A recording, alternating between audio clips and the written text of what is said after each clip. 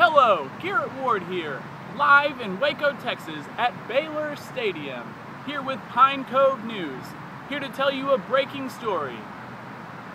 Our breaking story is that Garret Ward is going back to El Salvador. That is right, ladies and gentlemen, back to El Salvador. And that means in less than three months, it's three months away.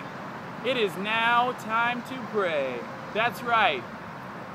Well, really, in all seriousness, I would love that uh, in going back to my trip with Pine Cove to El Salvador, uh, to be able to preach the gospel to uh, the kids that are there through youth camping, that you would come alongside me and be able to pray with me uh, in preparation for the mission trip that I'm going on in a couple of months.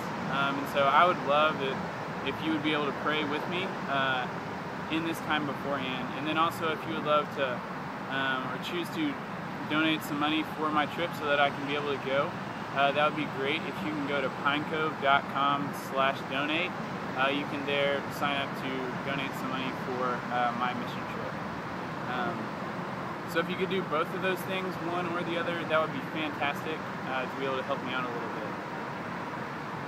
But in other news, other than pray and donate, it is Baylor Stadium. That's right, folks in next season, coming up next year, we will be having our first game in our new Baylor Stadium. It is beautiful, wouldn't you say so yourself?